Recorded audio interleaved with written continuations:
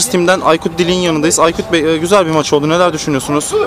Takımım hakkında e, çok iyi şeyler söyleyebilirim. Bu, e, bu hafta biz yeni toplandık. O yüzden e, berabere kalmamız bu yüzden de olabilir diye düşünüyorum. Çünkü aramızda herhangi bir bağ yok. E, iki takım da çok iyi oynadı. E, gayet güzel bir mücadeleydi. E, iki takım adına da, kendi takımın adına da teşekkür ederim.